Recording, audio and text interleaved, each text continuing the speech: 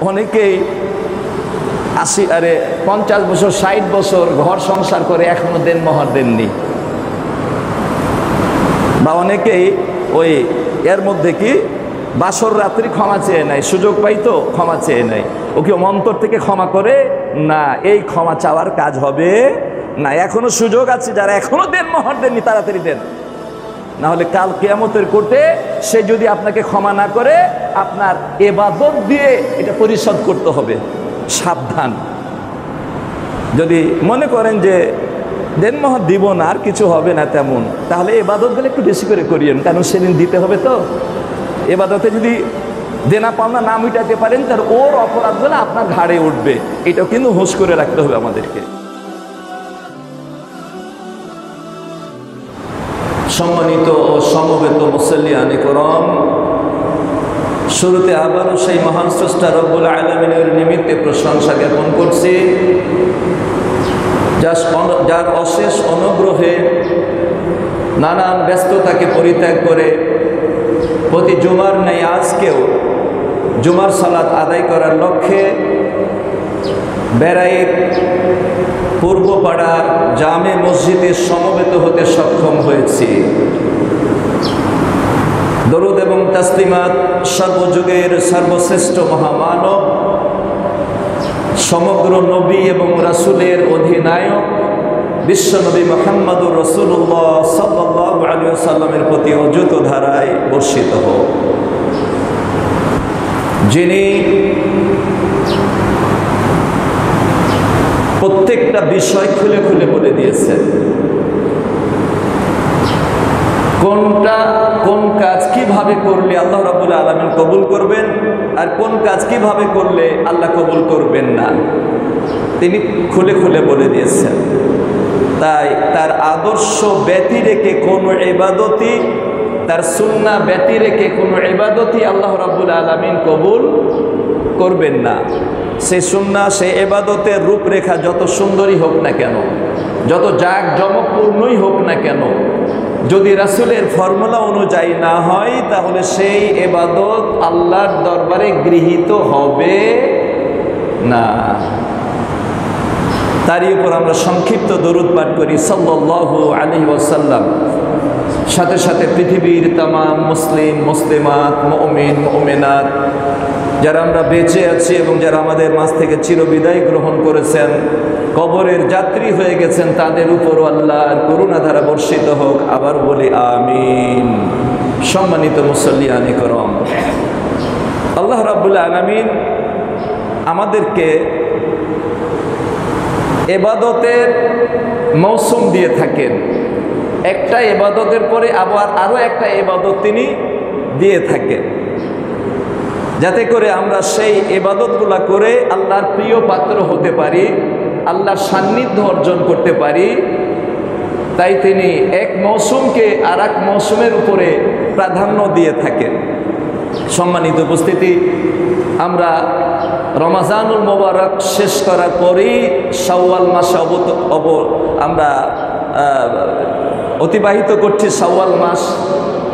এবং দেখতে দেখতে এটাও যেন অর্ধেক পার হয়ে গেল। এরপরে যে মাস আমাদের সামনে আসছে, সেটি হচ্ছে হজের মাস। আল হাজ্য আর সরু মায়ালুমাত বলা হচ্ছে, যে হজের নির্ধারিত মাস রয়েছে, কয়েকটি মাস। সেটা কি? শাওয়াল, জিলকদ, জিলহজ।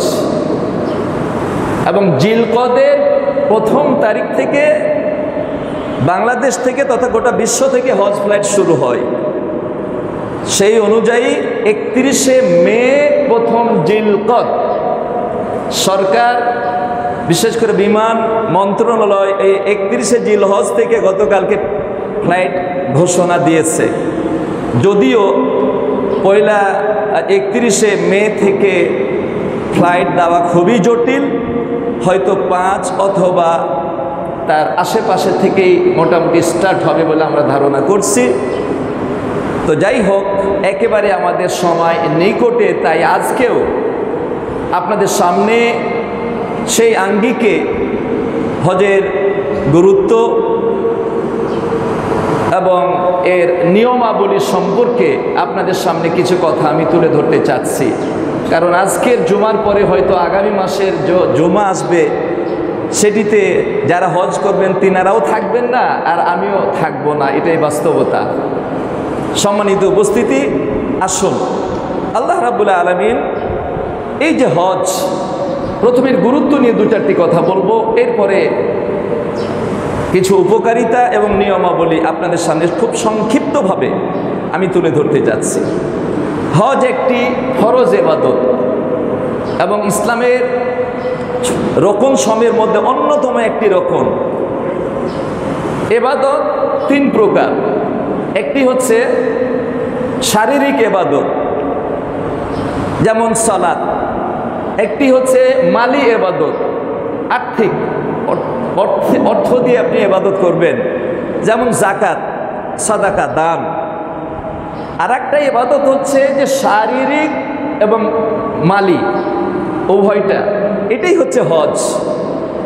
এই এবাদতের মধ্যে আপনার কায়িক পরিশ্রম করতে হবে এবং মালও খরচ করতে হবে। তো একই এবাদতের মধ্যে দুই এবাদত নিহিত রয়েছে, এক শারীরিক এবং মালি এবাদত সম্মানিত উপস্থিতি, তো এই হজ অত্যন্ত গুরুত্বপূর্ণ। এটি সুন্না বা নফল নয়, এটি হচ্ছে ফরজ। এই এবাদতটা হচ্ছে কি? ফরজ এবাদত আল্লাহ রব্বুল আলমিন এইভাবে বলছেন সুরাল ইমরানে ولله على الناس حج البيت من استطاع إليه سبيلا ومن كفر فإن الله غني عن العالمين আল্লাহ রাবুল আলমিন ঘোষণা করেছেন অলিল্লাহ আলান্নাস হিজ্জুল বাইত আল্লাহর উদ্দেশ্যে মানুষের প্রতি যারা আল্লাহর ঘর পর্যন্ত যেতে সামর্থ্যবান, তাদের উপরে এই হজ পালন করা অবশ্যই কর্তব্য মানে ফরজ। সামর্থ্যবানের কথা বলা হয়েছে, আমি আসছি ব্যাখ্যায়। অমান কাফারা, কিন্তু এই নির্দেশনাকে যারা উপেক্ষা করবে, হজ ফরজ হয়ে গেছে এরপরে হজে যাচ্ছে না। এটাই হচ্ছে উপেক্ষা করা। এই নির্দেশনাকে যে উপেক্ষা করবে, আল্লাহ রাবুল আলমিন বলছেন ফাইন আল্লাহ আনিল আলামিন। যে আল্লাহ রাবুল আলমিন পৃথিবীবাসী থেকে অমুখাপেক্ষী। হজ ফরজ হওয়ার পরে আমি হজ করলাম না, আল্লাহর কোনো ক্ষতি করতে পারব? না, ক্ষতি করতে পারব না। ক্ষতি আমি নিজেরই করলাম। কে করল আর কে করল না, এ ব্যাপারে আল্লাহ কোনো পরোয়াই করেন না। তিনি অমুখাপেক্ষী। তিনি কোনো ব্যাপারে ঠেকা না যে আপনি হজ করার উপর আল্লাহ ঠেকা। বিষয়টা তা না। আল্লাহর নির্দেশনা কে পালন করছে আর কে করে না, এটা আল্লাহ রবুল আলমিন দেখেন। সম্মানিত উপস্থিতি, হজ শব্দের অর্থ হচ্ছে সংকল্প বা ইচ্ছা করা। আর পারিভাষিক অর্থে বলা হয় যে আল্লাহর রেজামন্দির জন্য রাসুলের তরিকায় নির্দিষ্ট সময়ে নির্দিষ্ট এবাদত নির্দিষ্টভাবে পালন করার সংকল্প করার নাম হচ্ছে হজ।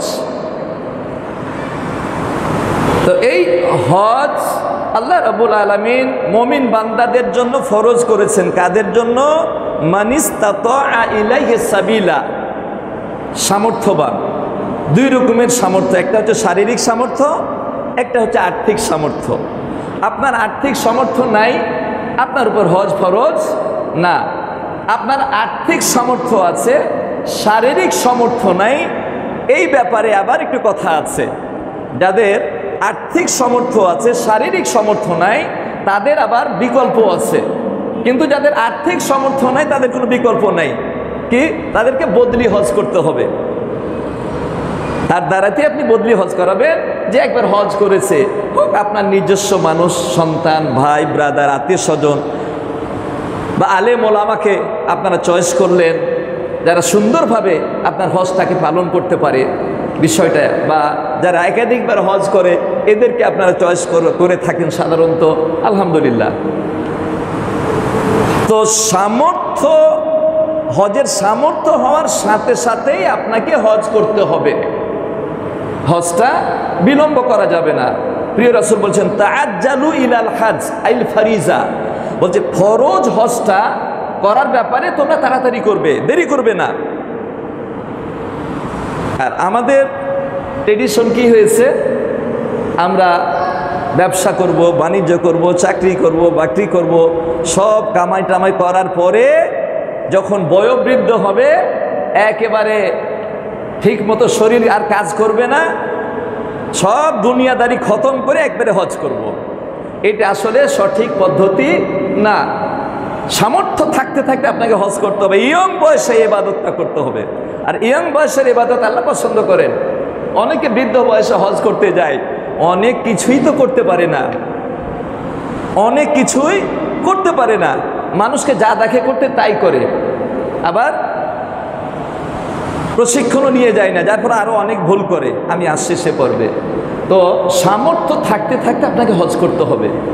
সম্মানিত উপস্থিতি। তাহলে হজ হতে গুরুত্বপূর্ণ একটি এবাদত, এবং এটা ইয়াং বয়সের এবাদত। বৃদ্ধ বয়সের না। বৃদ্ধরা যায় হজ করতে, অনেক কিছু করতে পারে না, তখন যুবকদেরকে দেখে বলে বাবা রে আমি তো পারব না, তুমি আমার একটু বদলি করে নিও। আচ্ছা বলেন তো, নিজে করার বদলি করা কি এক জিনিস? না, এক জিনিস না। আপনাকে কে বলেছে যে আপনার পাঁচ ছেলে মেয়ের বিয়ে না দিলে আপনি হজে যেতে পারবেন না? আপনাকে কে বলেছে যে একটা বাড়ি আছে, এরপর আর একটা বাড়ি না করা পর্যন্ত আপনি হজে যেতে পারবেন না? আপনাকে কে বলেছে এটা? আগে ছয় মাস লাগতো, এক বছর লাগতো, ফিরবো কি ফিরবো না, গিয়ে মরে বসে থাকব, তাই অনেক কিছু করার চিন্তা করতো। এখন তো তাও নাই। আপনি ইচ্ছা করলে পনেরো দিনের মধ্যে হজ করে আসতে পারবেন। এক মাসের মধ্যে আপনি হজ করে আসতে পারবেন। অতএব সেই অশিলা দেখানো যাবে না।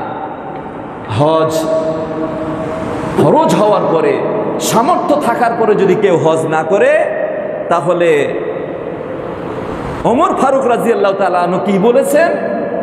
যে, লাকাদ হামাম তো আন আবাথা রিজালান ইলা হাদিহিল আনসর। বলছে, আমার মনে চাই যে, একদল যুবককে আমি এই শহরে বন্দরে প্রেরণ করি। আর দেখুক, মান কান জিদাতুন, যার হজ করার সামর্থ্য আছে, আর হজ করে না ফাইয়াদিরিবু আলাইহিমুল জিজিয়া, তাদের উপরে কর আরোপ যেন করে দেয়। নন মুসলিমরা মুসলিম দেশে থাকতে গেলে কর দিতে হবে। এরপরে কি বলছেন? কে বলছেন? অমর রাজি আল্লাহ তালা আনহ বলছে, মা হুম বি মুসলিমিন মা হুম বি মুসলিমিন সামর্থ্য থাকার পরে যারা অবহেলা করে হজ করেন এরা মুসলিম না, এরা মুসলিম না। কথাটা আমি বলিনি। কে বলেছেন? হজরত ওমর। হজরত ওমর কে? হজরত ওমর সেই ব্যক্তি যার সম্পর্কে প্রিয় রসুল বলেছেন, দশ জনের মধ্যে দশজন জান্নাতি, তার দুই নম্বর জান্নাতি হচ্ছে হজরত ওমর। হজরত ওমর সেই ব্যক্তি যার সম্পর্কে প্রিয় রসুল বলেছেন লাউকানা নবী আমার পরে যদি কে নবী হতো, তাহলে সে যোগ্যতা ছিল অমরের হজরত অমর সেই যার ব্যাপারে প্রিয় রাসুল দুইজনের ব্যাপারে দোয়া করেছিলেন আল্লাহুমা আইয়দিল ইসলাম আবে আবিল হাকাম আবে অমার ইবনুল খত্তব। হে আল্লাহ, তুমি ইসলামকে মজবুত করো, ইসলামকে শক্তিশালী করো। দুইজনের একজনকে দিয়ে আবু জাহেল আর কে? অমর বিন খত্তব অমর রাজি আল্লাহ তালা দোয়া কবুল হলো কার পক্ষে? অমর রাজি আল্লাহ তালার পক্ষে। সেই ব্যক্তি অমর সে বলছে, মা হুম্বে মুসলিমিন। এখন আপনি কীভাবে দেরি করবেন? আর হজরত আলী কি বলছেন? হজরত আলী বলছেন, ফালি এমন ইয়াহুদিয়ান আর নাসরানিয়ান। বলছে, ওই ইহুদি হে মরুক আর নাই নাসারা হে মরুক। ফালা আলাই হে আমার কোনো যায় আসে না। কত বড় কথা আপনি কি চিন্তা করতে পারছেন? অতএব হজ যাদের উপর ফরজ, এটা আল্লাহ নিয়ামত। এই সম্পদ আল্লাহ দিয়েছে। অতএব আল্লাহর দেওয়া নিয়ামতে যদি আপনি কৃপণতা করেন, বিলম্ব করেন, আল্লাহ তো বেজার হবেন। অতএব হজটাকে আমাদের তাড়াতাড়ি করতে হবে। দেরি করা যাবে না। কেন দেরি করবেন? কারণ আপনি কি জানেন যে আপনি কতদিন বাঁচবেন? আপনি বলেছিলেন আমার বিহার সাহেব একদিন বাজারে এই হজে যাবি না? রেডি হ। তা বলছে যাব এই দুই বছর পরে যাব। আমি বললাম ঠিক আছে এই তো বলছে দুই বছর পরে যাবে এই বছর না ওই বছর যাবে। তা আমি শুধু তাকে বললাম যে ভালো কথা নিয়াত যখন করেছেন তখন একটা কাগজে আপনি একটু আমাকে লিখে দেন তো যে দুই বছর বাঁচবেন। হ্যাঁ? কি বলেন কি? এটা কি লিখে দেওয়া যায় নাকি? হ্যাঁ? তা বলছি, কেন? আপনি দুই বছর পরে হজ করবেন? আপনি তো বৃদ্ধ হন নাই, হয়তো পঞ্চাশ বছর হবে বয়স, তা আপনি দুই বছর পরে হজ করবেন। একটু লিখে দেন না যে দুই বছর বাঁচার গ্যারেন্টি আপনি পেয়ে গেছেন? আল্লাহ আকবার। আজকে জুমা নামাজ পড়ে আপনি বাড়ি ফিরতে পারবেন, এর গ্যারেন্টি নাই। আর দুই বছর পরে হজ করবেন, এই চিন্তা মাথার থেকে একবারে ফেলে দেন। আল্লাহর ঘর বাইতুল্লাহ, মক্কা, মদিনা যাওয়ার জন্য কোন মুসলিমের না অন্তর কাঁদে? যাদের সামর্থ্য নেই, তারাই বেশি কাঁদে। যে আল্লাহ, যদি তুমি একটু তোমার ঘরটা দেখার তৌফিক দিতা, তুমি তৌফিক দাও নেই, পারব না। কিন্তু যারা তৌফিক থাকার পরে বিলম্ব করে আর যায় না, এমন করতে করতে করতে মারা যায়। আল্লাহ একবার হতভাগা। আর কি বলব আমি তাদেরকে? অতএব আলহামদুলিল্লাহ, সুম্মা আলহামদুলিল্লাহ। এখন কিন্তু আগের মতো চিন্তা, চেতনা নাই। আল্লাহর মেহরবানি ইয়মরা হজে যাওয়ার জন্য একটা উদ্বুদ্ধ হয়ে গেছে, একটা প্রেরণা জেগেছে। আলহামদুলিল্লাহ, অনেক জায়গাতে শুধু বৃদ্ধরা যায়, কিন্তু বিশেষ করে ঢাকা, এই রাজধানী থেকে ইয়মদের হজে যাওয়ার একটা প্রবণতা তৈরি হয়ে গেছে। এটা আলহামদুলিল্লাহ। এবং তার মধ্যে আপনার বেড়াইতো আছে, আলহামদুলিল্লাহ। আল্লাহ যেন যারা সামর্থ্যবান, সকলের হজ যেন আল্লাহ রাবুল আলমিন কবুল করেন বলেন, আমিন। এবং সকলকে যেন আল্লাহ দ্রুত হজ করার তৌফিক দান করেন বলেন, আমিন। সম্মানিত উপস্থিতি, হজ আপনি করবেন একটু ফজিলত বলে আমি নিয়মাবলীর দিকে চলে যাব। সংক্ষিপ্ত। হজ যাত্রার পূর্বে কিছু, যেহেতু আর সুযোগ পাবো না এই জন্য কিছু কথা বলে নিচ্ছি। হজ যাত্রার পূর্বে কিছু নসিহত আছে। নসিহত, প্রথম নসিহত, প্রথমে আপনি খেয়াল করবেন আল্লাহ রাবুল্লাহ আলমিন আপনার যাদেরকে এই বছরে হজের জন্য কবুল করেছেন, আপনি ভাগ্যবান। আপনি অত্যন্ত ভাগ্যবান। কিছু নসিহত আপনাদের জন্য। প্রথম নসিহত সেটা হচ্ছে তাকু আল্লাহ প্রথমে আপনার আল্লাহকে ভয় করা, আল্লাহর ভয় অন্তরের মধ্যে তৈরি করে নিতে হবে। কারণ এটা এমনই একটি পুঁজি বলতে তোমরা সফর করবে, এই সফরের সবচাইতে গুরুত্বপূর্ণ মূল্যবান পুঁজি হচ্ছে তাকুয়া কারণ যার মধ্যে তাকুয়া সৃষ্টি হয়ে যাবে, পৃথিবীর কোনো শক্তি তাকে বিপথে দিতে পারবে না। পৃথিবীর কোনো শয়তান তাকে অন্যায় করিয়ে নিতে পারবে না। তাই বলছে, এই তাকুয়া যার অন্তর হয়ে যাবে, সে সঠিক পথে চলবে এবং সঠিকভাবে হজ করবে। পৃথিবীর কারও কথা সে শুনবে না, শুধু আল্লাহ এবং রাসুলের কথা ছাড়া। এক নম্বরে তাকুয়া অর্জন করতে হবে। দুই, প্রত্যেকটা ব্যাখ্যা সাপেক্ষ কিন্তু সমাজ সময় নাই। দুই, তাওবা। হজ আপনার জীবনে সব অপরাধ ক্ষমা করে দিবে। তো আগের যে অপরাধগুলা আপনি, আমি করে রেখেছি, হজে যাওয়ার আগেই এগুলোকে শেষ করে দিই না কেন? ওই আমরা হাল খাতা করি না, যা দেনা পাওনা আছে নি, দিয়ে খাতাকে একবারে কি করি? শেষ করে দিই, আবার নতুনভাবে খাতা খুলে। তো আপনার জীবনের সমস্ত অপরাধগুলা ক্ষমা হয়ে যাবে শুধু একটা মজবুত তবা তবা মানে কি? একটা মজবুত সিদ্ধান্ত যে আজকে থেকে আমার দ্বারাতে দুনিয়াতে যত অন্যায় অপরাধ করেছি, আজকে থেকে আর কোনো অন্যায় হবে না। যত ভুল করেছি মিথ্যা কথা বলেছি, নেশা, দ্রব- দ্রব্য পান করেছি, সিগারেট পান করেছি, জর্দা পান করেছি, যতই যা করেছি, যত রকমের অন্যায় করেছি, আল্লাহ তোমার কাছে তওবা করছে, তুমি মাফ করে দাও। আমার দ্বারা তার জীবনে এরকম অন্যায় কাজ আর হবে না। বাস একটা মজবুত সিদ্ধান্ত। আপনি যদি তওবা এইভাবে করতে পারেন, শর্ত অনুযায়ী তবার শর্ত কয়টা? চারটা অথবা চারটা বা তিনটা। সেই কাজটা বন্ধ করা ওই কাজ দ্বিতীয়বার না করা আর আল্লাহর কাছে অনুশোচিত হওয়া। আর যদি এই অপরাধটা যদি বান্দার সাথে সম্পৃক্ত হয়, কারও হক মেরে দেওয়ার ব্যাপারে, হোক ভাই ভাইয়ের হক মারলো হোক ভাই বোনের হক মারলো হোক বাবা এক ছেলেকে বেশি দিল আর এক ছেলেকে কম দিল, হোক বাবা ছেলেদেরকে দিল, মেয়েদেরকে দিল না, বা তার ইচ্ছা মতো দিল, এগুলোই হক মারা। এই হক যদি মেরে থাকে, হক আদায় না করা পর্যন্ত নামাজ, রোজা, হজ জাকাত একশো বার হজ করল আল্লাহ কবুল করবেন না। অতএব তওবা করার আগে বান্দার হক ক্ষমা করিয়ে নিতে হবে, দিয়ে হোক, মাপ চেয়ে হোক, যেভাবে পারেন ক্ষমা করে নিতে হবে। অনেকেই আশি, আরে পঞ্চাশ বছর, ষাট বছর ঘর সংসার করে এখনও দেন মহর দেননি। বা অনেকেই ওই এর মধ্যে কি বাসর রাত্রি ক্ষমা চেয়ে নেয় সুযোগ পাইতো ক্ষমা চেয়ে নেয় ওকে মন্তর থেকে ক্ষমা করে? না, এই ক্ষমা চাওয়ার কাজ হবে না। এখনও সুযোগ আছে, যারা এখনও দেন মহর দেননি, তাড়াতাড়ি দেন। না হলে কাল কেয়ামতের কোর্টে সে যদি আপনাকে ক্ষমা না করে, আপনার এবাদত দিয়ে এটা পরিশোধ করতে হবে। সাবধান। যদি মনে করেন যে দেনমোহর দিব না, আর কিছু হবে না তেমন, তাহলে এবাদতগুলো একটু বেশি করে করিয়েন, কারণ সেদিন দিতে হবে তো। এবাদতে যদি দেনা পাওনা না মিটাতে পারেন, তার ওর অপরাধগুলো আপনার ঘাড়ে উঠবে। এটাও কিন্তু হোশ করে রাখতে হবে আমাদেরকে। সম্মানিত উপস্থিতি, তওবা, আপনি যদি তওবা করতে পারেন, আপনার জীবনের সমস্ত অপরাধ আল্লাহ ক্ষমা করে দিবেন। শুধু ক্ষমা নয় ওয়াইবাদ্দাল সাইয়াতিন আপনার প্রত্যেকটা গুনহার পরিবর্তে একটা করে নেকি দিয়ে দিবে। আল্লাহ তাহলে তবা করে নিতে হবে। তিন এবাদত কবুলের শর্ত অনুযায়ী হতে হবে। অর্থাৎ এবাদত কবুলের শর্ত কি দুটা?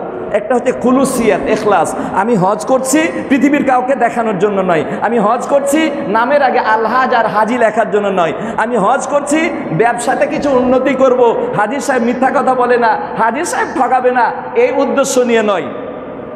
তার জন্যে? লিল্লা অলিল্লাহ আলান্না হিজ্জুল বাইত বলা হচ্ছে। যে আল্লাহর জন্যই বাইতুল্লাহর জিয়ারত করতে হবে, অর্থাৎ হজ করতে হবে। পৃথিবীর কারও উদ্দেশ্য থাকবে না।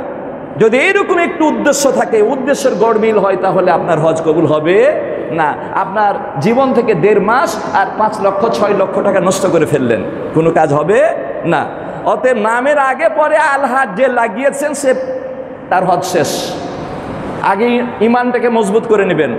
নামের আগে আলহাজ, অনেকে আছে, হাজির সাহেব বলে না ডাকলে ওর ব্যাটারি চার্জ হয়ে যায়। আমি হজ করে আসি নাই, হাজি বলে না ডাকলে বেজার হয়ে যায়। পুরান ঢাকার মানুষের একটু বেশি বেজার হয়, আমি জানি। আমি তো জড়িয়ে আছি সবারই নামের আগে আল্লাহ অমুক হাজি অমুক না বললে ওরা বেজার। পাম্পট্টি দিতে হবে। তো ওগুলো তো আমি থাকি না আল্লাহর রহমতে। তো যাই হোক, এই চিন্তা যেন না থাকে, তাহলে হজটা শেষ। তারপরে চতুর্থ নম্বর শর্ত অপরাধগুলোকে ছেড়ে দিতে হবে, আর করা যাবে না। অনেক করেছি, এখন হজে যাব, আল্লাহর ঘরে যাব। এই মুখ দিয়ে অনেক মিথ্যা কথা বলেছি, হাজের অসৎ চুমা দেব, এই মুখ দিয়ে একটু পবিত্র, আর এই মুখ দিয়ে মিথ্যা হবে না। এই হাত দিয়ে অনেক জুলুম করেছি, অত্যাচার করেছি, এই হাত দিয়ে আর জুলুম, অত্যাচার হবে না। এই পা দিয়ে অনেক অন্যায় জায়গাতে গেছি, আর এই পা দিয়ে অন্যায় জায়গাতে যাব না। অপরাধগুলোকে ছেড়ে দিতে হবে। সবশেষ প্রশিক্ষণ নিতে হবে। প্রশিক্ষণ নিতে হবে, আমরা তা করি না। হজে চলে যাই, না ভালো গাইড থাকে, না ভালো বই। আর বাজারে অনেক রকমের বই পাবেন। সুন্দর সুন্দর কাভার দেওয়া, সব বই পড়া যাবে না। আপনার হজটাকে নষ্ট করার জন্য ওই বেদাতি বইটা যথেষ্ট। নাসিরুদ্দিন আলবানি শুধু হজ পারপাসে একশো ছিয়াত্তরটা বেদাত লিখেছেন বইটা আমার কাছে আছে, আরবি, বাংলা দুটাই আছে। একশো ছিয়াত্তরটা। তো নাসিরুদ্দিন আলবানি, রাহিমাহুল্লাহ, ইনি যদি বাংলাদেশ, ভারতের আর পাকিস্তানের ইতিহাস জানতে, তাহলে দুইশো ছিয়াত্তর হতো। কারণ এই ভারত উপমহাদেশেদের বেদাতিদের সংবাদ তো তাদের কাছে, তার কাছে ছিল না। এরপরও একশো ছিয়াত্তরটা হয়েছে। একটা বেদাত যদি আপনার আমলে ঢুকে যায়, আপনার আমলটা বরবাদ। আর যদি শিরিক ঢুকে যায়, আপনার জীবনের আমল আমল ডিলিট হয়ে যাবে। আর মনিটরে আর ভাসবে না যত টিপাটিপি করেন, সব শেষ হয়ে যাবে। সম্মানিত উপস্থিতি। তাই এবাদতটা এখলাসের সঙ্গে করতে হবে। আমি এই এবাদত করছি আল্লাহ ছাড়া কাউকে রাজি খুশি করার জন্য নয়। আর গাইড আপনাকে প্রশিক্ষণ নিতে হবে, ভালো বই পড়তে হবে। ওই বই পড়বেন, যে বইয়ের ব্যাপারে আপনি নিশ্চিত হবেন যে এই বইয়ে যা আছে কোরআন এবং সেই সুন্নার আলোকে। কারণ একটা বই আপনার হজকে নষ্ট করার জন্য যথেষ্ট। এরকম শত শত বই বাজারে বিক্রি হবে, ফিরি দিবে। নেবেন না। কোনো বই হাত দিবেন না। ভালো বই পড়তে হবে, ভালো লেখকের। আর কিছু লেখাপড়া করে যেতে হবে। লেখাপড়া না করলে এই যে আজকে আলোচনা হচ্ছে, যারা শুনবেন, কিছু তো উপকৃত হবেন। না হলে ওখানে অনেক বিপদ, অনেক সমস্যা ওখানে পড়তে হয়। কিছুই বুঝে না। একজন হা হজ করতে গেছে, কিছুই জানে না। তো অন্য মানুষকে যা করতে, তাকে হুড় হুড় করে ওটাই করতে যায়। কারণ ও তো জানে না। দেখা দেখি। এই দেখা দেখি করতে গিয়ে বিপদে পড়ে। আবার একটা গল্প আছে, গল্পটা বাস্তব। আপনার সিরাজগঞ্জের এক প্রাইমারির মাস্টার হজ করতে গেছে। এখন বারে বারে ওই যে জানেন আয়সা মসজিদের দুই টাকার, দুই রিয়ালের যে ওমরা আছে, দুই দুই, চার রিয়াল। এই চার রিয়ালের ওমরা করছে। রাত্রে তখন বাজে বারোটা একটা। ওমরা করে এসে তার বইয়ের নামে ওমরা করছে। বইয়ের নামে ওমরা তো করতেই হবে। বইয়ের নামে ওমরা করে ফোন করে বলছে বউকে যে, তোমার নামে ওমরা করেছি, এখন তুমি মাথার চুল ন্যাড়া করে দাও। বলে, কি বলো? বলে হ্যাঁ ওমরা করলে মাথার চুল ন্যাড়া করতে হয়। তো তোমার নামে ওমরা করছি, তুমি মাথার চুল ন্যাড়া করবে না? মাথার চুল ন্যাড়া করিয়ে ছাড়ছে। এবার গ্রুপ লিডারকে বলছে যে, আমি তো ওমরা করছি রাত্রে? তো এই ব্যাপার। বলছে, খবরদার, আমাকে বললেন আর কাউকে বলিয়েন না। মান ইজ্জত কিছু থাকবে না। সম্মানিত উপস্থিতি। এই জন্য প্রশিক্ষণ নিতে হবে। প্রশিক্ষণ না নিলে আপনি যে কোনো সময় আপনার আমার পদস্খলন হয়ে যেতে পারে। সম্মানিত উপস্থিতি। আসুন, এখন আমরা এই ওমরা হজ অত্যন্ত গুরুত্বপূর্ণ। পাঁচটি সংক্ষিপ্ত ফজিরত শুধু কটে ইগুলা বলব, পয়েন্টগুলা। এক, এই হজ আপনার জীবনের সমস্ত পাঁচটা পুরস্কার। হজের অনেকগুলা পুরস্কার, তার মধ্যে পাঁচটা বলি পাঁচ মিনিটে। প্রথম পুরস্কার হচ্ছে যারা হজ করবে, তার জীবনের সব অপরাধ আল্লাহ ক্ষমা করে দিবেন। অলাদাত হু উম্মুহু। হজ থেকে ফিরে আসবে, মা যেমন তাকে ভূমিষ্ঠ করেছে, ঠিক তেমনই নিষ্পাপ করে দেবেন। আল্লাহ আকবার। দুই, প্রথম কি? সে তার সব অপরাধ ক্ষমা হয়ে গেল। এবার তার দ্বিতীয় পুরস্কার হচ্ছে সে তাকে তার জন্য জান্নাত অবধারিত। জান্নাতের গ্যারেন্টি তাহলে গুনহা মাপের গ্যারেন্টি জান্নাতের গ্যারেন্টি লাইসালাহু জাজাউন ইল্লাল জান্না হজের বিনিময় অন্য কিছু না ডাইরেক্ট জান্নাত। দুই। তিন তিন নম্বর হচ্ছে তার জীবনের সে জাহান্নাম থেকে মুক্তি। আর আরাফার দিনে আল্লাহ রাসূল আল্লাহ রসুল বলেন, সবচাইতে বেশি এই দিনে আল্লাহ রাবুল আলমী জাহান্নাম থেকে বান্দাদেরকে মুক্ত করে দেন। আর ফেরেস্তাদেরকে লক্ষ্য করে বলেন, তোমরা সাক্ষী হয়ে যাও। আন্নি গাফার হোম আমি তাদেরকে ক্ষমা করে দিলাম। আল্লাহ ফেরেস্তাদেরকে সাক্ষ্য রেখে কে বলেন? আরাফার ময়দিন আল্লাহ রাবুল আলমিন বলেন। তাহলে তার জাহান্নাম থেকে মুক্তি আরও দুইটা আছে। একটা হচ্ছে যে তার দোয়া আল্লাহ রাবুল আলমিন কবুল করবেন। হাজি, হজে গিয়ে যা বলবে তা কবুল। বিশেষ করে আরাফার দিনে যা বলবে তা কবুল। তপ করতে করতে, সাই করতে করতে, ওমরা করতে করতে, হজের মৌসুমটাই হচ্ছে দোয়া কবুলের সময় আর দোয়া কবুলের জায়গা। তাই হাদিস সাহেব যা বলবে, বলতে দেরি, আল্লাহ কবুল করতে দেরি হবেন না। হাদিসের মধ্যে রয়েছে। আর সব শেষে পাঁচ নম্বর তার রুজিতে বরকত হবে। তার রুজিতে বরকত হবে। আমাকে হাজি বলছিলেন যে, আমার এই তিন চার লাখ টাকা ম্যানেজ করতে অনেক কষ্ট হয়েছে। কিন্তু এই দেড় মাসে আমি হজ মৌসুমে থাকার পরে সতেরো লক্ষ টাকা আমার ফায়দা হয়েছে। আমি নাই, এরপরে সতেরো লাখ টাকা হয়েছে। আলহামদুলিল্লাহ। এটা বাস্তব, এটা আমার কথা না। আমার রাসূল বলছেন যে তাবেউ বাইনাল হাজ্জ ওয়াল উমরা ফাইন্নাহুমা ও যে হজ আর ওমরা করতে থাকে, কারণ এই দুটা কি করে? ফাকর, দরিদ্রতা আর গুনা থেকে তাকে গুনাগুলা দরিদ্র দূর করে দেয়। মানে সে আর গরিব হবে না, ধনী হয়ে থাকবে। আল্লাহ আকবার। সম্মানিত উপস্থিতি, আসুন এই হজটার এত ফজিলত, এই পাঁচটা ফজিলত যদি আপনি আমি পেয়ে যাই, আর কিছু দরকার আছে? আল্লাহর পক্ষ থেকে পাঁচটা গ্যারেন্টি গুনামাপের গ্যারেন্টি জান্নাতের গ্যারেন্টি তারপরে জাহান্নাম থেকে মুক্তির গ্যারেন্টি দোয়া কবুলের গ্যারেন্টি আর আরেকটা গ্যারেন্টি কি? রুজি বৃদ্ধির গ্যারেন্টি এত গ্যারেন্টি আপনাকে নিতে চাইলে হজটা হতে হবে। কার তরিকায়? পীর সাহেবের তরিকায়। হ্যাঁ? বুজুর্গানে দিনের তরিকায়। কুত- কেতাবের মধ্যে যা আছে তাই। কোনো মাঝহাবি তরিকায়। হ্যাঁ? পীর সাহেবের তরিকায়। না। একমাত্র হতে হবে রাসূলের তরিকায়। আমল কবুলের দুটি শর্তের একটা বলা হয়েছিল, একটা ছুটে গেছিল। একটা কি? এখলাস আল্লাহর জন্য, আর দ্বিতীয় হলো রাসুলের পদ্ধতিতে, রাসূলের ফর্মুলা। এই দুটা আমল কবুলের শর্ত। আপনি দুনিয়ার যে কোনো কাজ করেন, এই দুটা, দুনিয়ার কাজের সাথে যদি দুটা নির্দেশ লাগিয়ে দেন, তো কাজটা এবাদত হয়ে যায়। সেটা কি? আল্লাহর হুকুম আর রাসুলের পদ্ধতি। আপনার ব্যবসাটার মধ্যে যদি এই দুটা জিনিস লাগিয়ে দেন তাহলে আপনার পুরো ব্যবসাটাই এবাদত হয়ে যাবে।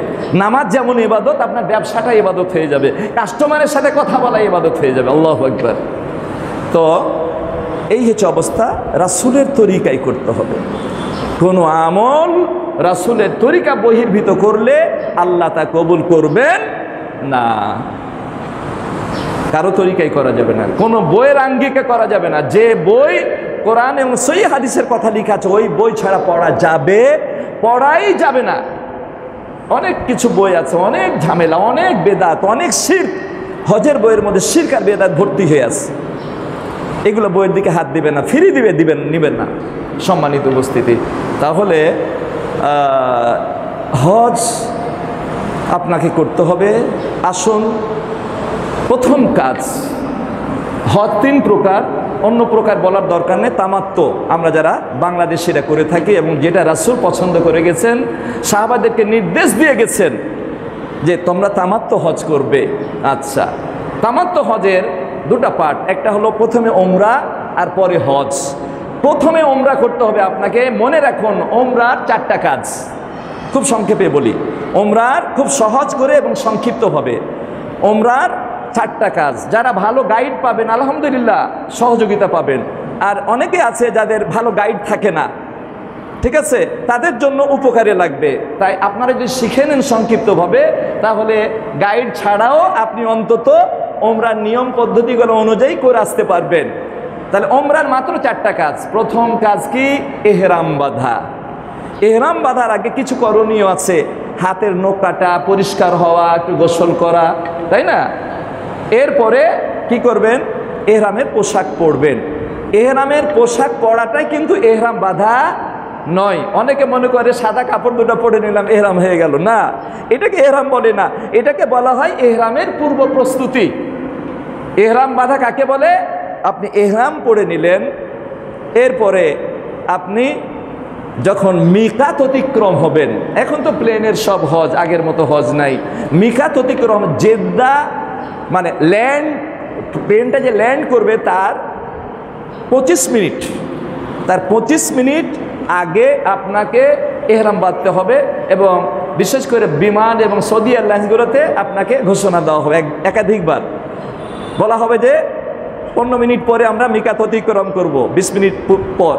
আপনারা প্রস্তুতি হয়ে গেলেন, যার যতটুকুন প্রস্তুতির দরকার। এরপরে বলবে পাঁচ মিনিট পরে করা হবে। এরপরে যখন অতিক্রম করবে, তখন একবার বলা হবে।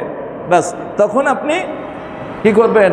লাভবাইক অমরাতান অথবা আল্লাহ লাভবাইক অমরাতান আর যে বদলি করবেন বলবেন লাভবাইক ওমরাতান আন আবি আমার বাবার পক্ষ থেকে, আন উম্মি মায়ের পক্ষ থেকে, বা আন ফোলানা নাম করবেন। যার পক্ষ থেকে আপনি হজ করছেন। বা শুরুটাই বলবেন আর বলা লাগবে না। আর একবার হজের সময়তে তার নামটা উচ্চারণ করতে হবে। এখন তার অঙ্ক, অ্যাকাউন্টটা তার নামে খুললেন। আপনি যা করবেন সব তার অ্যাকাউন্টে জমা হয়ে যাবে ইনশাল্লাহ সিস্টেমটা এইরকম।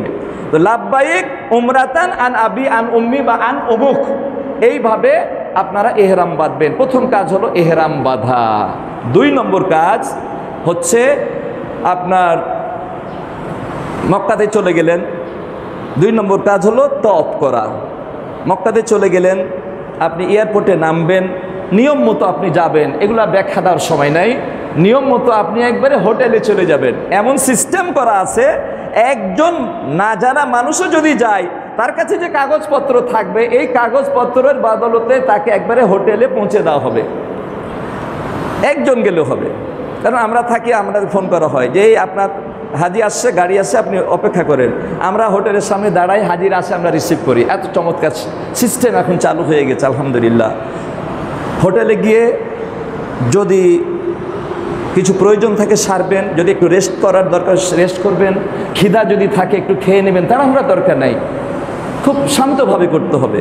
এরপরে দলবদ্ধভাবে হোক যদি কেউ একাকী করতে চান একাকী, আর দলবদ্ধ হলে দলবদ্ধভাবে আপনি অজু করে নেবেন, কারও গোসলের দরকার গোসল করে নেবেন বা আর প্রয়োজন থাকলে সারবেন, এরপরে বাইতুল্লাহ ঢুকবেন। বাইতুল্লাতে ঢোকার সময়তে মসজিদে যে দোয়া সেটাই পড়বেন। আর যদি একটু বেশি করে পড়তে পারেন, তাহলে লাভ বেশি, ফজিলত বেশি। কি বেশি কি?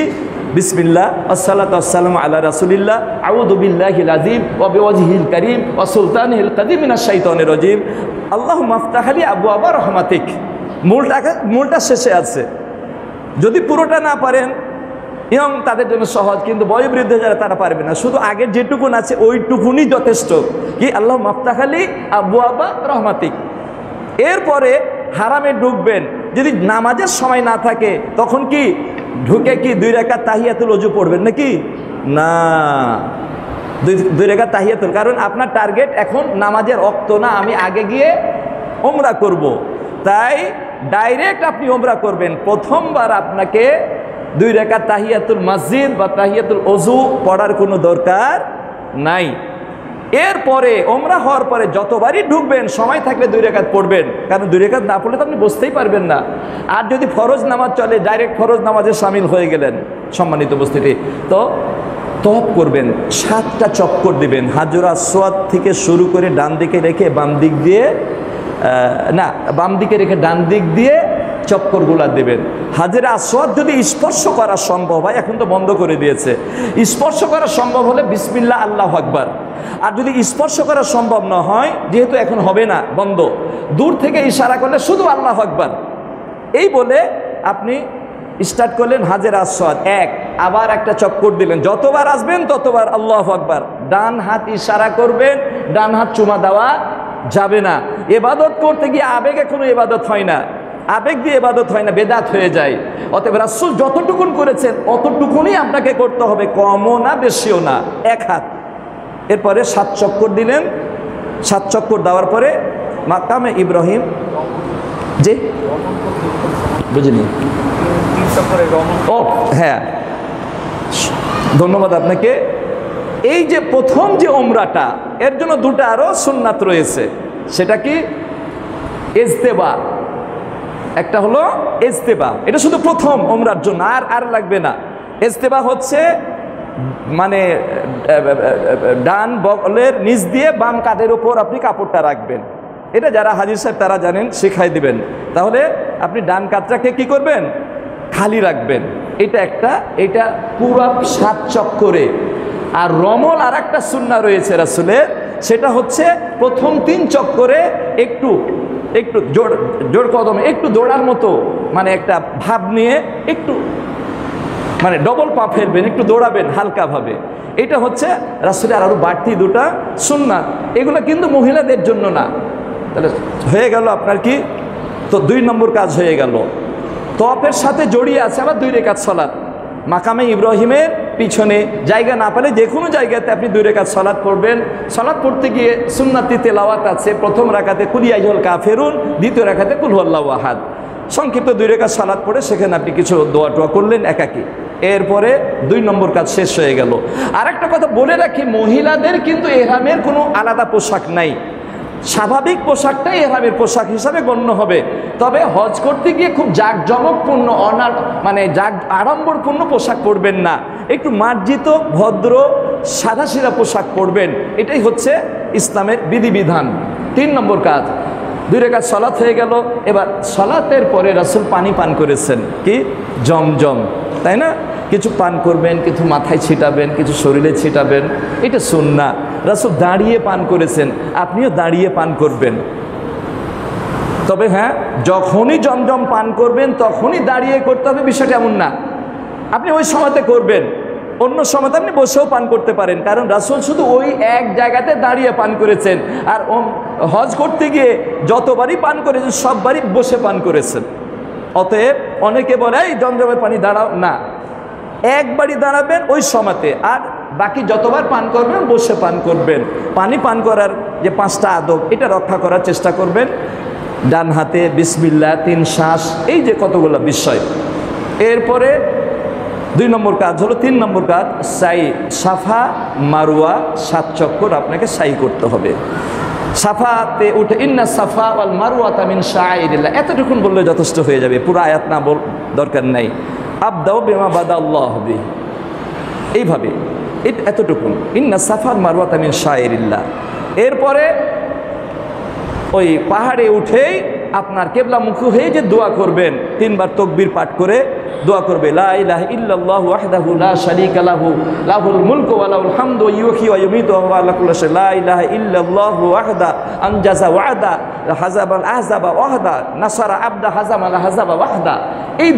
পড়বেন, এরপরে মন খুলে দোয়া করবেন। কারণ সাফার মারওয়া দুটাই হচ্ছে দোয়া কবুলের জায়গা। হাত তুলে দোয়া করবেন। যেখানে হাত তোলার দরকার নেই, সেখানেও আমরা হাত তোলার জন্য পিড়াপিড়ি করি। ওই জায়গাতে হাত তুলবেন। যেখানে হাত তুলে নিন আসুন, ওখানে না তোলাটাই এবাদত আর যেখানে তুলেছেন, ওখানে তোলাটাই এবাদত হজ করতে গিয়ে অনেক জায়গাতে আপনি হাত তুলে দোয়া করতে পারবেন। এটা শুন না হাত তুলে দোয়া করবেন। আর এই যে দোয়াটা পড়লাম, এটা তিনবার বলবেন। তিনবার বলাটা উত্তম। একবার বললেও হক আদায় হয়ে যাবে, কিন্তু তিনবার বলা উত্তম। এবার আপনি সাফার দিকে রওনা হলেন।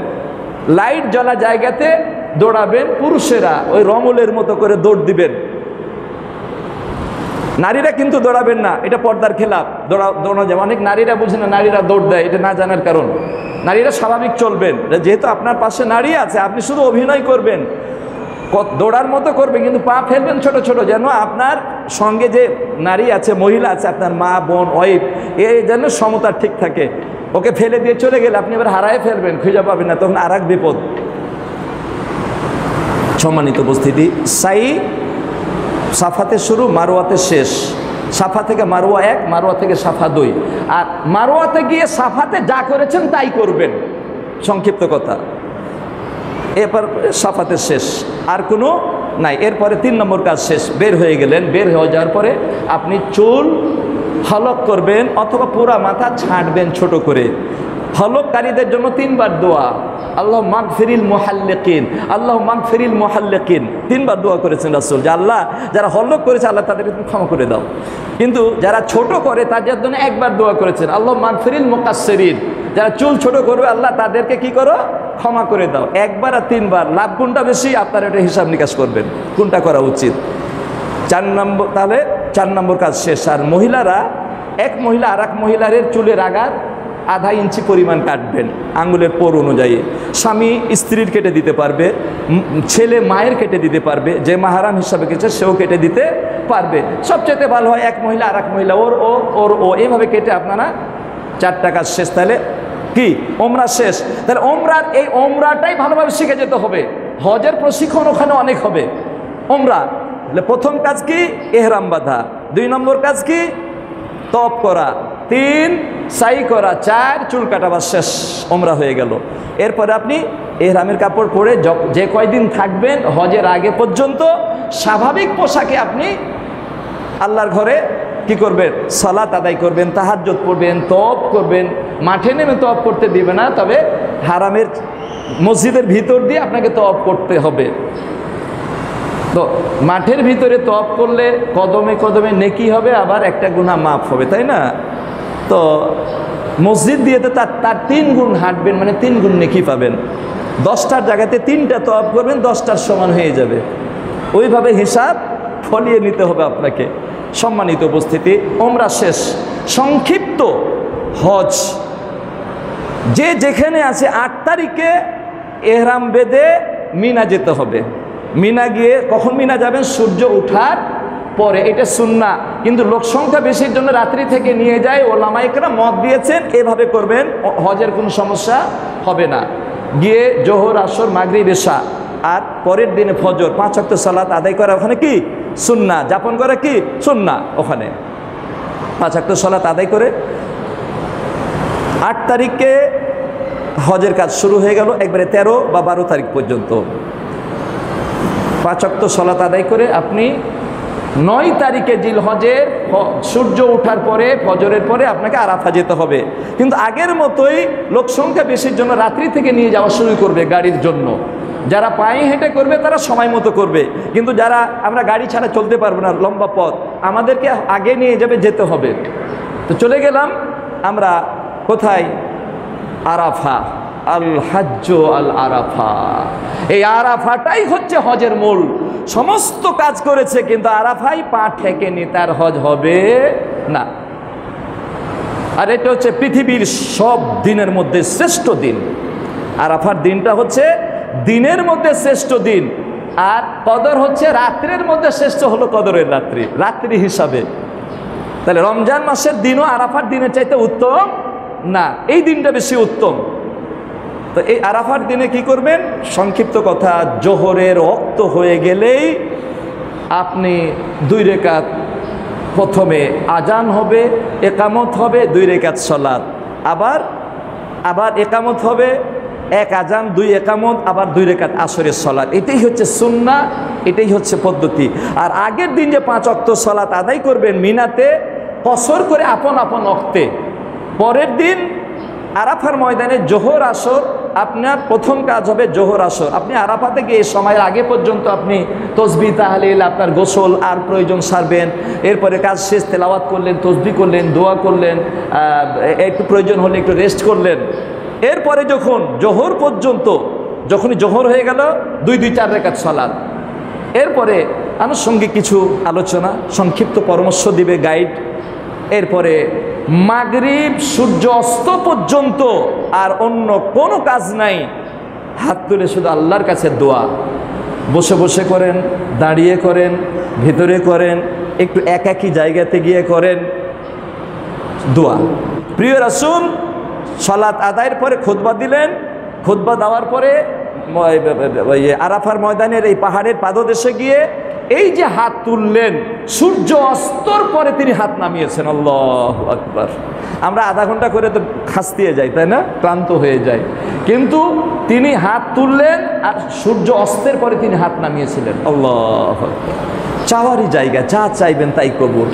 যা চাইবেন তাই কবুল। আরাফার ময়দানের কাজ শেষ। সূর্য অস্তের পরে মাগরিবের সলাৎ না পড়ে আমরা মোজদালেফাই যাব। গাড়ি থাকবে গাড়িতে করে। মোজদালেফাতে গিয়ে খোলা মাঠে আমরা ঘুমাবো। এটাই হচ্ছে সাল এটাই হচ্ছে এবাদত। প্রথমে গিয়েই সালাত মাগরিব এবং এশা আরাফার ময়দানে মাগরিব পড়ব না, ওখানে গিয়ে পড়ব। এটাই হচ্ছে পদ্ধতি হজের। দুই, মাগরিব এবং এশার সালাত আদায় করে ঘুম হজর পর্যন্ত। রাসুল ঘুমিয়েছেন, আপনিও ঘুমাবেন। অনেকে সারা রাত জাগে না। ভুল করে, সঠিক করে না। কারণ পরের দিন যে চারটা কাজ, এটা সবচেয়ে গুরুত্বপূর্ণ হজের। ঘুমালেন, হজরের আজান হবে, নামাজ পড়ে, তখন আর গাড়ি নাই। পায়ে হেঁটে আপনাকে হয় মিনা, তাঁবুতে যাবেন, আর যারা প্রস্তুত নিয়ে থাকবেন, সরাসরি পাথর মারতে যাবেন। এটা হলো দশ তারিখ পড়ে গেল। দশ তারিখের চারটা কাজ। এটাই বলি হজ শেষ। প্রথম কাজ কি? বড় জামড়া সাতটা কঙ্কর মারা। দুই নম্বর কাজ কুরবানি করা। তিন নম্বর কাজ, চুল কাটা। চার নম্বর কাজ, তফে ফাজা করা। মক্কাতে গিয়ে আবার বিদায়, আরে, তফে ফাজা, ফরজ তফটা করা। এই হচ্ছে তফ এবং সাই দুটাই করা। এই আপনার হজের দশ তারিখের কাজ শেষ। এখন, এখানে একটা জরুরি কথা। সেটা হলো, এই যে চারটা কথা বললাম প্রথমে, পাথর মারা, এর দুই নম্বরে হলো কুরবানি করা, তিন নম্বরে মাথার চুল কাটা বা মুন্ডন মুন্ডন করা অথবা ছোট করা, চার নম্বরে তফ হেফাজা করা। এটা যদি আগে পিছে হয়ে যায়, তাহলে কি হবে? রসুসাল্লাম মিনাতে তিনি অপেক্ষা করছেন। এক সাহাবি এসে বলতেছেন, ইয়া রাসুলাল্লাহ, লামা শহর আমি বুঝতে পারিনি জাবাহ তো কাবলা আর্মি। আমি পাথর মারার আগে কুরবানি করে ফেলেছি। তো প্রিয় রাসুল বললেন, এর মেওয়ালা হারাজ। তুমি করতে থাকা কোনো সমস্যা নাই। আর একজন এসে বলছে যে, আমি কুরবানি করার, আরে মাথা, কুরবানি করার আগে মাথা চুল কামিয়ে ফেলেছি। তো বলছে, কুরবানি করে নাও, কোনো সমস্যা নাই। হাদিসের শেষে বলা হচ্ছে, সেই দিন রাসুলকে এই চারটা কাজ আগে এবং পরে উলট পালট করে যত প্রশ্ন আসছে প্রত্যেক বাড়ি রাসুল বললেন এফ আল ওয়ালা হারাজ, করতে থাকো, কোনো সমস্যা নাই। কিন্তু আমাদের মাঝে একদল ভাই আছেন, এরা বলছেন, সিরিয়াল এন্টন না হলে দম দিতে হবে। এবং সব হাজির কাছ থেকে দম নিয়েই ছাড়ে। আপনার অপরাধ হলো না, শাস্তি হয়ে গেল, এটা হলো নাকি?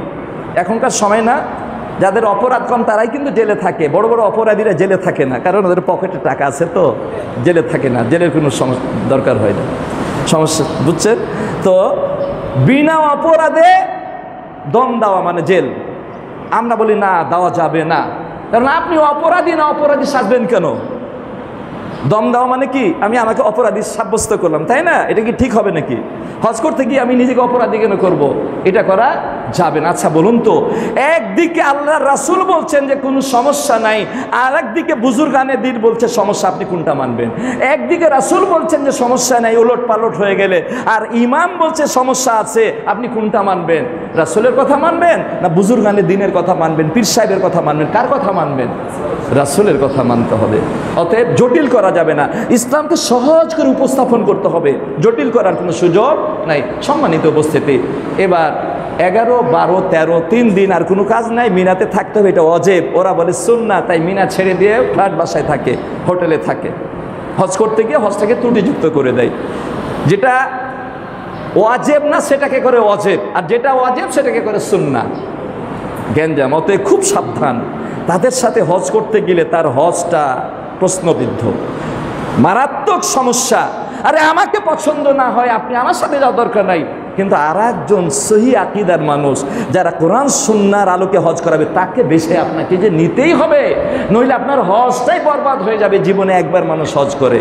এগারো, বারো, তেরো না হলে শুধু এগারো, বারো, শুধু তিন জামরাতে, তিন সাথে একুশটা পাথর মারবেন, শেষ। এবার আপনি হোটেলে চলে আসবেন, আর কোনো কাজ নয়, বিদায় তপ। সব শেষ কাজ কি? বিদায়িত সব মাল সামানা বেঁধে নেবেন, এরপরে ফ্লাইট যখন তার চব্বিশ ঘণ্টা আগে, কারণ বারো ঘণ্টা আগে আপনাকে প্রস্তুতি নিয়ে যেতে হবে। চব্বিশ ঘণ্টা আগে বা দুই বেলা আগে আপনি বিদায় তপটা করে রেডি থাকবেন। গাড়ি আসবে, গাড়িতে চড়ে বাংলাদেশে চলে আসবেন। এটাই হচ্ছে মোটামুটি হজের একটা নিয়মাবলী। আল্লাহ রাবুল আলমিন যেন আমাদেরকে এইভাবে রাসুলের সুন্নার আলোকে হজ করার তৌফিক দান করেন, বলেন আমিন অথের